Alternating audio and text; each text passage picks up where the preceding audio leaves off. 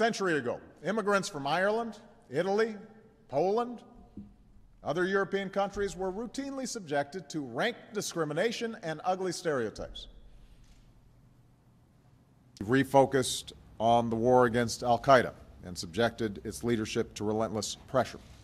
That afternoon, while Private First Class Vela and his platoon were patrolling a strategic hill to determine enemy strength and positions, they were subjected to intense enemy automatic weapons and small arms fire at the top of the hill.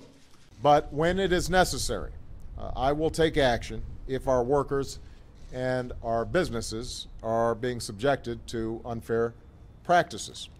It becomes more dangerous not only for those people who are subjected to these horrible crimes, but to all of humanity. As the friendly unit neared its objective, it was subjected to a devastating volume of enemy fire, slowing its progress. There are bad ways of doing trade agreements as well. And ultimately, all of these things will have to be uh, subjected to uh, scrutiny in the light of day.